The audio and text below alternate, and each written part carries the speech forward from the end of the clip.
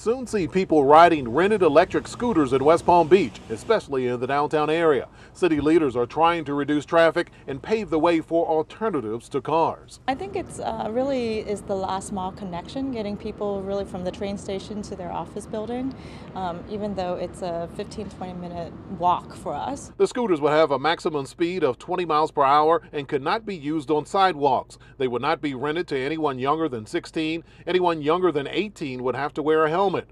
The city is accepting bids from private system operators who would set up electric scooters and electric bikes in select areas. Other cities have had problems with people who use the scooters, then when they're done, ditch them on sidewalks, streets, and lawns. Part of our ordinance and our regulations are these have to be corralled. An area that has bike racks and scooter racks um, that you can um, dock and lock your station in. How do some people feel about it? I think it'll be great. It'll reduce traffic.